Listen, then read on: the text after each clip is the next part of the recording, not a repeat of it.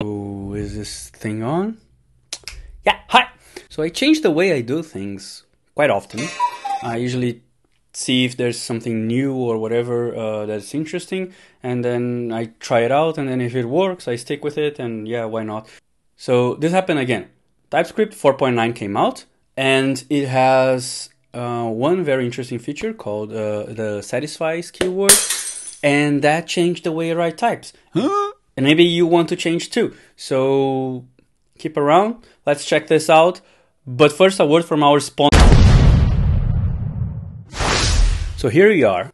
TypeScript 4.9, the last release of TypeScript before the big 5.0, brings out the satisfies operator. So the satisfies operator brings us a way to define that certain expression matches a type while still allowing TypeScript to infer what is the actual type. Docs are pretty nice and they're very clear about the kind of stuff it offers you and how it can help you get better narrowing of your types. But let's have a look in uh, some examples. So I'll pick this uh, similar example to what the, the, the docs has, but let's write something our own. So right now I just opened this new file with a few like type definitions. So I have the RGB tuple, takes red as a number, green as a number, and blue as a number. And I have the RGB names types, that's a union type of red, green, and blue.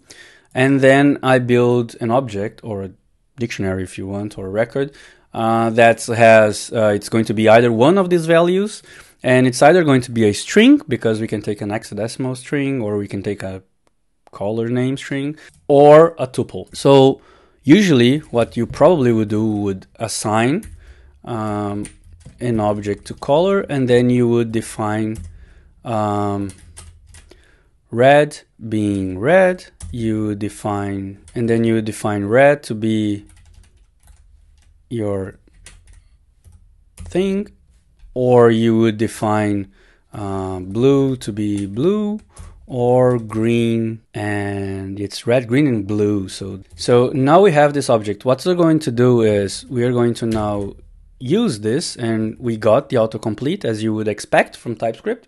Great. And if i get green for example get values of arrays even though we are uh, using a string. So with the satisfies operator we're going to allow typescript to infer stuff so for example, what we would do is have this satisfied that's going to be the same object and then we're going to say that it satisfies my color type. And now what we get is if I get the satisfied and I try to use red, I'll have again all my methods of an array or if I try to use green now, I get the methods of a string. So the difference is that satisfies is going to tell me, give the hint of what is the property in my so what happens that satisfy is going to allow me to define what is the type that my certain expression needs to satisfy. But meanwhile, it's also going to let my TypeScript server to try to do the inference. So what happens is that I get the best of both worlds. And in the same way, you still get everything else. So for example, it allows me to not have it doesn't allow me to have something that doesn't match. So for example, I can get it it's not specified in color in the same way that I would in this other one. So I get everything that should be, um, that, that is allowed without having any kind of drawbacks or side effects. So what happens here is that whenever you're assigning something, the difference is that satisfy is going to tell us, okay, TypeScript, I believe this is the type, but you should still like do your own stuff. You should still infer the types and see if everything matches and it's fine. Meanwhile, assign is a way of us to tell TypeScript how to behave. We're essentially micromanaging TypeScript. And you know, like developers love micromanaging, right? No. So what we're doing with assign is saying, okay, TypeScript, this is the type of my stuff. And TypeScript is going to say, yeah, all right. And that's an assignment that it gets. So it's only going to complain if it goes completely off Rails.